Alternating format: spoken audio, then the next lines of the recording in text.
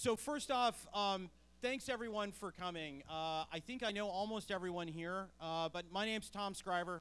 Uh, I'm the director of the Center for Regional Economic Advancement at Cornell, and we're one of the entities that uh, helped uh, REV become a reality. Um, and we are uh, the administrator of, of the organization. Um, I want to talk for a second about what we're trying to do here today. Um, you're going to see around these pamphlets here, and you can see on the screen behind me this thing that says State of the Startup Economy. Um, I, I want to admit, first and foremost, you know, we're startup people. We're entrepreneurs ourselves. So this is a little aspirational, as entrepreneurs and startups often are. Uh, if you open this book and expect all the answers, you're not going to find them. Um, you're going to find some answers to some things, uh, and you're also going to find some things that invite new questions.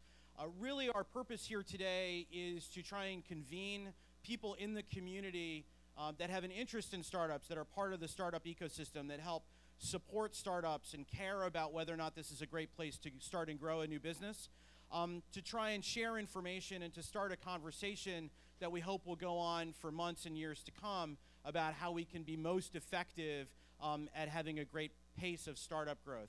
So to that end, uh, I want to also thank, well, first, all of you for being here. Um, we do have one elected official here, um, so thank you, Anna Kelles from the county legislature for coming. Uh, it's always great to see our elected officials at events like this um, and supporting the startup community. So uh, we've got three great panels here today, um, and we promise to get you out on time. So I will take the advantage of the fact that I've been given a microphone uh, for just a couple minutes um, to set the table, but I promise I won't take too long. Um, I want to start with a little bit of data. Um, you know, we're here, uh, we're data-driven kind of folk. Um, and so one thing uh, that I want to start off with, which is about talking about the pace of startup creation. Um, so like a lot of people, we use Kauffman Foundation data a lot. Kauffman Foundation's been a big supporter uh, of startups uh, around the country and beyond.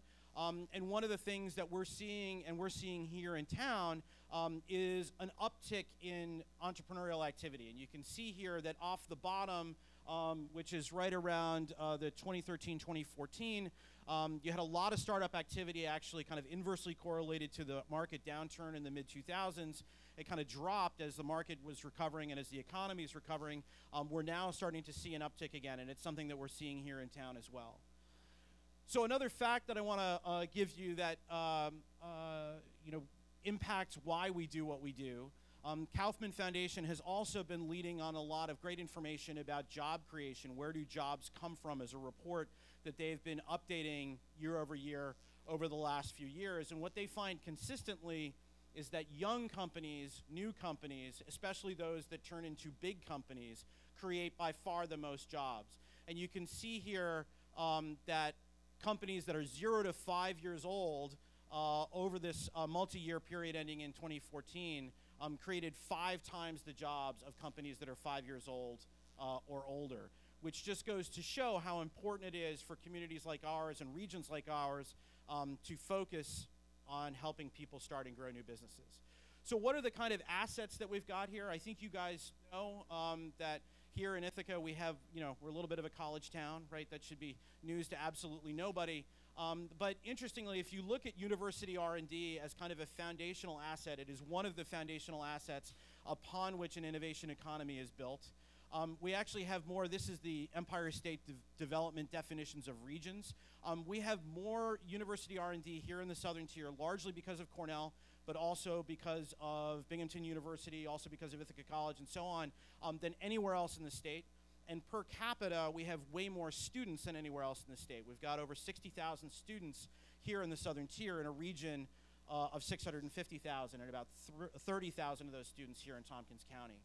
So you would think then a lot of uh, upstate opportunity, both student population and innovation uh, in terms of university R&D, uptick in entrepreneurship, um, what does the venture capital uh, picture look like then in terms of helping support these businesses and helping them grow?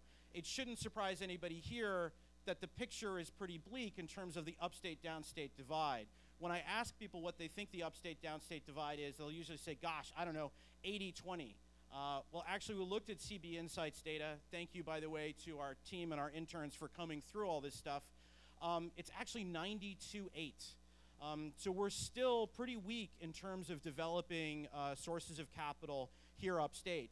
Um, there's a lot of, of sparks of light, if you will, uh, if you don't mind me using the Bush thousand points of light, right? Um, and you're going to hear about some of those on an investor panel later in terms of people who are working extremely hard um, to bring investment into the community. Um,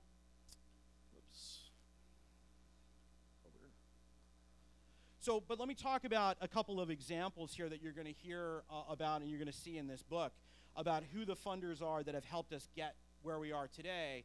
Um, so let me call out an example of GiveGab. Charlie Mulligan's here. Where's Charlie? Charlie's in the back.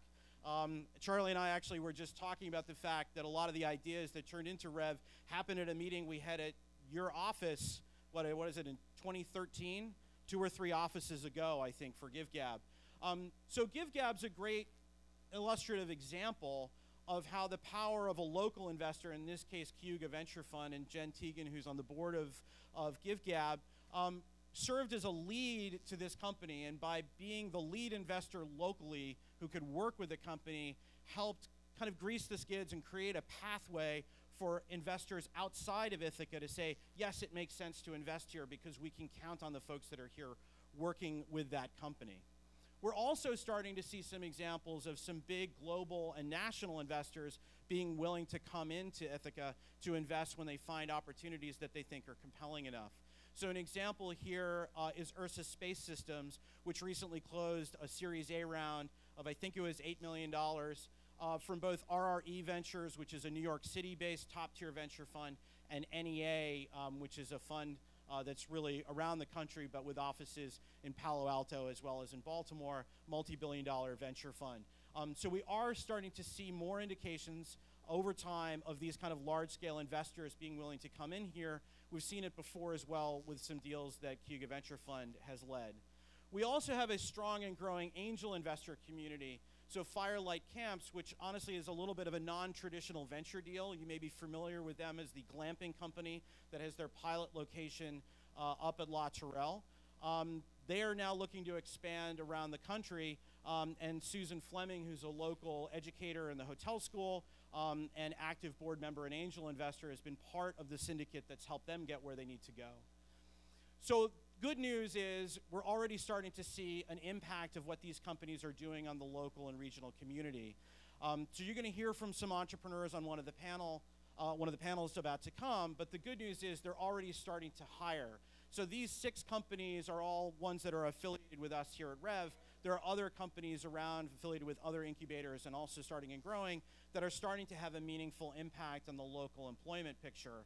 And just to give you a sense, from last year, uh, whoops, uh, from last year, we had um, over uh, 100, or I'm sorry, over 200 employees at the companies that were Rev members. Um, they added over 90 jobs and raised over $21 million. So the kind of companies that we're look, looking to look, uh, work with here um, have three characteristics. And I think getting back to the point about what uh, the Kauffman Foundation study showed is that the kind of companies that actually grow jobs in the kind of meaningful amounts that we're looking for are ones that are young, moving fast, have high growth potential, um, and have the opportunity to create wealth not just here locally, um, but by selling products and services outside the region. So these are the companies that we've got to focus on and the kind that you are going to hear more about today. So one of the questions that often comes up, and you're going to see it here in the opening letter uh, of our uh, brochure, is oftentimes people will talk about, you know, what can Ithaca do to be the next Silicon Valley? Can Ithaca be the Silicon Valley of blah, blah, blah, whatever it may be? Um, and uh, I want to tell you, I, I, don't think any of us actually care um, to pursue that line of thinking. And if there's one thing that I can ask of you here today, it would be to please take that message away from this as well. We have no interest in being anyone else. Um, we want to be the best us we can be. Uh, and we've got a lot of tremendous assets here um, that can make us a strong and great Ithaca and can make us a strong and great southern tier region in upstate New York. Um, so this was actually a Zillow listing that I sent my colleagues here from a trip out to Silicon Valley a couple uh, months ago. Um, this is a otherwise nondescript uh, four bedroom house, 1,800 square feet on a, what is it? I think it's a 6,000 square foot lot. So the size of the lot is not that much bigger than the house. And the estimate is what, 3.9 million, right? Um, there's a lot that we can do to be very attractive um, to people who are looking to start and grow new businesses in a great community. So one question that we also get that I want to address head on is what about the startups that leave? Um, we have plenty of examples of companies that have been with us here um, that have then gone on uh, to do other things in other places. So uh, an example of a Rev member company and one that I've worked with uh, through my board service at TCAD is Ithaca Hummus. Um, so Ithaca Hummus, still branded Ithaca Hummus for a variety of reasons. They decided to no longer produce on their own here in Tompkins County um, and are working with a co-packer in Rochester. Or an example like MadeBot, a company that came out of the hardware accelerator that we run here at Rev. In fact, you can see all the stuff in the back that we asked folks to clean up, but they're hard at work on prototypes this summer. Um, MadeBot made a lot of progress, but decided to move their main uh, base of operations to where their funding was coming from uh, in Austin, Texas. Or Eversound, another company that was a Rev member company, came out of eLab, which is the Student Business Accelerator at Cornell, um, has raised money through the Cornell uh, Angel Network um, and moved to be close to their production uh, and product design shop in New Hampshire. Um, or OrthoFit, a company that we're working with currently, also an eLab alum company, Cornell PhDs working on uh, adaptive gloves uh, for repetitive stress injury that are now part of Mass Challenge. One thing that we found with all of these companies is that they all still love it here. They all still are advocates for Ithaca. They're all advocates for this community. And so, one other message that I'd like you guys to take away from this is that when people do move on, our opportunity is to keep them as part of our fan club, keep them part of our family, um, and help them continue to make connections. And what we found, for example, with Eversound, is just the other day, Jake Reisch, who's the founder of Eversound, came in to do a couple hour video session with our hardware accelerator teams to help them get up to speed and make those kinds of connections. So let me just talk a little bit about what Rev is. Um, so you are here in our downtown business incubator. It's administered by Cornell, as I mentioned. It's a partnership between Cornell, Ithaca College, and TC3. Um, the main purpose we have here is to work with local startups and help convene the local entrepreneurial community and to help people start and grow new businesses. As I mentioned, we've got a lot of assets here, great R&D, lots of students, a legacy in the region of hardware and manufacturing, and a lot of entrepreneurs who've made a go of it over the last 30 years, frankly, without a lot of the infrastructure that exists today. And we can leverage their experience and their connections to succeed. What we are finding is that the state is focusing on this area a lot. They're putting capital to work. I want to call out Clayton Besh from the back. Hey, Clayton. Uh, we'll hear from Clayton in a little bit, but uh, Clayton works for New York State uh, as part of their venture fund. Um, and we're seeing a lot more entrepreneurs who are interested in finding opportunities to stay and grow here in Ithaca and leverage the resources that are here. So I want to just mention a couple of programs that you may have heard of that we're also a part of that are connected here, just to kind of give you a little bit of the lay of the land. One is the Southern Tier Startup Alliance, which we also administer. It's a regional incubation network. It's a member organization of business incubators, um, including Rev, including the McGovern Center up at Cornell, uh, the Koffman Southern Tier Incubator in Binghamton, Incubator Works in Painted Post. Um, I mentioned the Hardware Accelerator. We've got teams right now working in an 11-week intensive summer program um, to develop new products, going napkin to prototype. Um, and we're working with uh, a team called NextCorps, which is our kind of partner organization in Rochester to expand what we do for people working in physical products. We work on a program funded by the National Science Foundation across upstate New York and beyond called the UNY I-Corps node, um, which helps people with commercialization assessments of new inventions and new technologies. Oh. Uh, and then, of course, we've got 76 West, uh, NYSERDA's clean energy business uh, competition with a million dollar top prize. And we're starting to see some really great traction of companies that have won prize money in the first two years of 76 West stay and grow in this region and in Ithaca in particular. And we're in year three of that right now. And we're super excited about the 20 companies um, that are moving forward in that competition uh, to six prize winners. So I just want to draw your attention to one other thing, which is I'm just giving you a very quick overview of the overall ecosystem. Um, but it is a very complicated place. And one of the questions I asked a panel of entrepreneurs a week or two ago is we've got all of these different programs and all of these different acronyms, and every time you turn around, it seems like New York State is starting a new thing with a new acronym. How do you kind of navigate that process? And frankly, how much do you care about when one program ends and another program begins? The answer is we need help figuring it out. That's not our core competency as an entrepreneur, as a startup. But honestly, we don't really care about when a program ends or begins, right? When does one thing, when does Rev turn into Start, Southern Tier Startup Alliance or the Hardware Accelerator or whatever? They don't really care. They're laser focused as they should be on growing their business. So let me give an example of Ecolectro, a company represented here today, that participated in a variety of different programs. So they were part of Nexus New York, which is a uh, NextCorps NYSERDA funded proof of concept center, helping them get up to speed. A lot of what Nexus does is very similar to what the UNY I-Corps Node is now trying to do. They were members of REV and then got admitted to the McGovern Center where they're able to get lab uh, resources that suited their needs better than we can do here.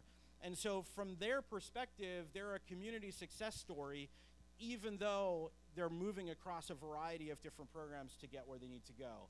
And so, I would just encourage you to think of it that way as you think about all of these different programs the state and others are going to be willing to fund different things at different times. Our job as entrepreneur supporters is to help the startups and the entrepreneurs themselves navigate those waters so that they can get where they need to go. So um, we're very grateful to all the people who helped us get here. We have a variety of different funders. We have a variety of different supporters. And particularly on the capital side, I want to call out a few people you're going to hear about in the uh, panel coming up. Uh, Marnie Levine is here from Launch New York. So Launch New York is a key partner of the Southern Tier Startup Alliance. Um, we help them provide EIR services to companies through the STSA across the region, and Rev is one of those business incubators. Um, a lot of companies that we've worked with have started to access capital through Launch New York Seed Fund and through programs like New York State. Um, we've got Elisa Miller-Out here from Chloe Capital as well. So we're starting to see a lot of other supporters come into the network um, to help uh, companies start and grow. So with that, I want to turn it over uh, in a minute to a couple panels so you can hear from entrepreneurs, providers of capital, um, and talk about the real estate landscape. But before I do that, I want to hand it over um, to Mary Opperman from Cornell and my boss.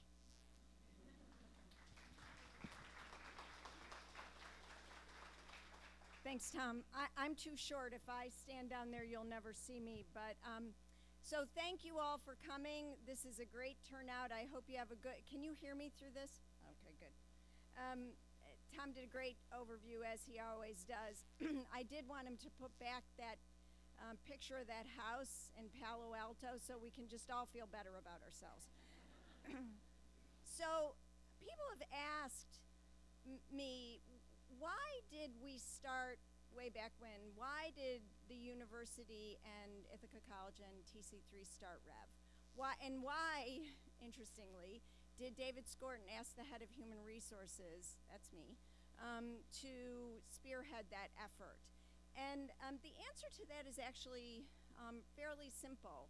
We knew, the college presidents knew, um, that the vibrancy of this community is vitally important to our three higher ed institutions. Um, but also, quite frankly, we care about this community.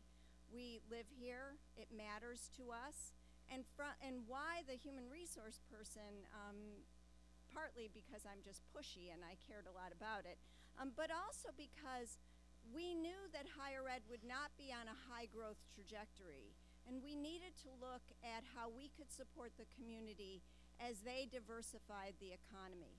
Um, it was something that we were just starting off doing in New York with, um, with Mayor Bloomberg. It became Cornell Tech. And we wanted to do the right thing um, here in our local community. And um, REV was a step in that direction.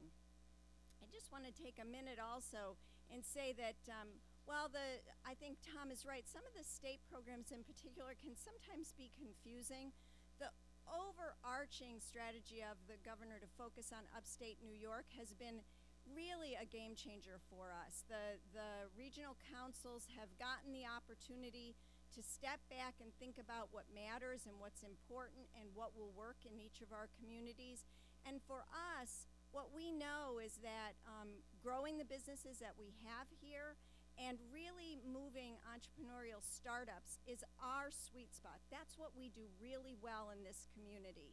And we have some secret weapons, and that is the connection between higher ed and those startups and growth um, businesses that we have in the area. Why?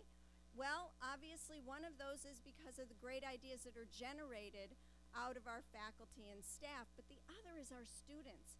We have the opportunity to keep them here, keep their ideas here, maybe long term and maybe short term. But to Tom's point, if they stay and grow a business that eventually goes, they still had their roots here. And so that deep loyalty that they felt to their alma mater becomes a deep loyalty to our community. And so I, I really believe that what we do here at Rev is, a, is um, create meaningful connections for businesses, hopefully that will stay here forever. But even if they stay here for a short time, we've grown their roots to our community, and that will give back to us and back to us. Um, so our member, as you know, our member um, companies are already creating jobs, 90 in the last year. A job is is so important to a, a, human being's sense of relevance to the world around them and to their family. And the future is in small companies and startups. And we have the opportunity here in our community to be a relevant player. I agree, we don't want to be the next Silicon Valley, although if you own, I don't know if you noticed, but on that picture, that $3 million house was only worth 350000 in 1993, so you know if you own. Um, just saying. Um, but we have the opportunity to take what we're already good at and create a jumping off point to be an even better community than we are today. Not to be a different kind of a community, but to take what we know we want to do, support the people that want to do that even more here, and make ourselves even better. And that comes, I think, from the passion we all feel about being part of this community. You just can't buy that. That's something that happens when you really invest here.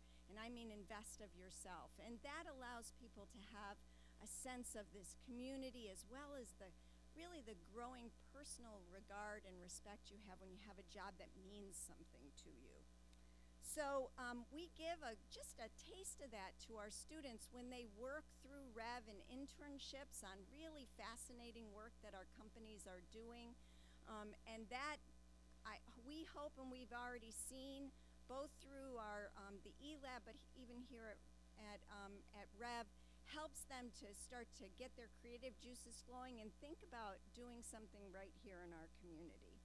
So, um, as you heard, um, the startup community is strong, and, and uh, what I'm here to say is Cornell's commitment to that startup community continues, but we need to continue to attract startups and retain them and help them set their roots here. So um, we want to move right on to our panels who are going to help us understand how to do that. Startups face many challenges, and a very significant one, as Tom mentioned, is funding. So I'd like to introduce to you Jason Salfi. Jason, the moderator of our first panel today on investment. Jason's going to tell you a bit about his experience as a startup and help us understand more about the challenges facing startups seeking investors in our area.